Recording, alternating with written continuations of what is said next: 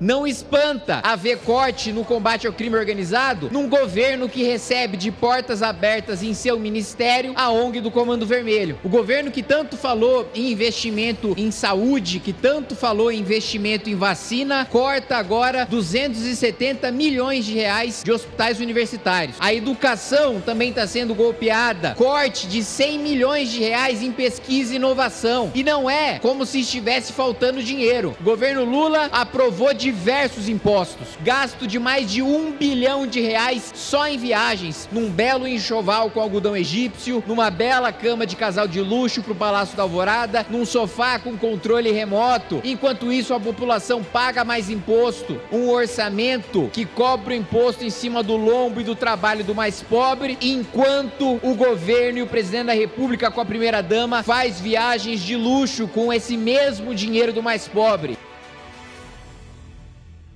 Senhor presidente, senhores deputados, senhores senadores, o governo Lula é uma tragédia e isso se reflete também no orçamento, tanto na LDO como na LOA, que nós estamos prestes a votar. O governo que tanto falou em investimento em saúde, que tanto falou em investimento em vacina, corta agora 270 milhões de reais de hospitais universitários. E os hospitais universitários, os deputados que frequentam suas bases eleitorais, sabem que estão em crise, sabe que já não tem dinheiro para atender os pacientes, sabe que já tem dificuldade para zerar suas filas de cirurgias, como a gente tem hoje, mais de 400 mil pessoas esperando só na cidade de São Paulo para fazer uma cirurgia e diversos hospitais universitários que são referência no tratamento de seus pacientes vão perder recursos deste ano para o ano que vem. Além disso, a educação também está sendo golpeada na votação do orçamento da LOA, em que o governo corta mais de 100 milhões de reais de livros didáticos. Sequer material didático as nossas crianças, os nossos jovens, os nossos adolescentes vão ter garantidos para o ano que vem.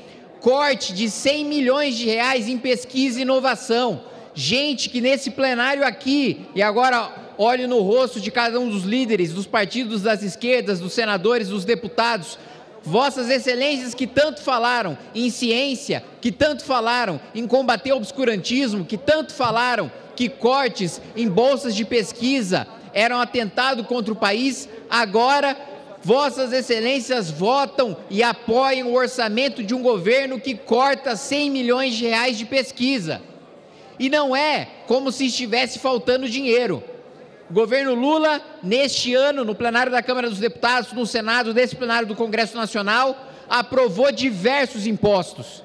E, inclusive, aprovou impostos tratorando o Congresso Nacional, como foi o caso da taxação de 92% em cima de compra online. Então, enquanto os mais pobres estão pagando 92% de imposto em cima do consumo e não conseguem mais ter acesso a roupas, a artigos, de qualidade a um baixo preço, o governo continua gastando.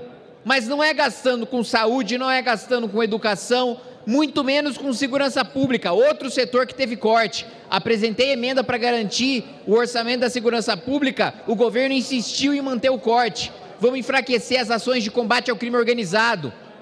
Não espanta haver corte no combate ao crime organizado, num governo que recebe de portas abertas em seu ministério a ONG do Comando Vermelho. E esse corte vai ser chancelado por Vossas Excelências na votação do orçamento. Para além disso, gasto de mais de um bilhão de reais só em viagens. Um bilhão de reais. Um bilhão de reais é mais do que o orçamento né, falaram tanto que agora, com o maior número de ministérios, a gente ia ter mais representatividade, íamos ter mais mulheres, mais negros, mais gays. E o que a gente vê é que o governo gastou mais com viagem, o cinco vezes mais com viagem do que gasta com o Ministério das Mulheres, por exemplo. Isso demonstra a absoluta falta de prioridade do governo na hora de investir em setores estratégicos para beneficiar a população.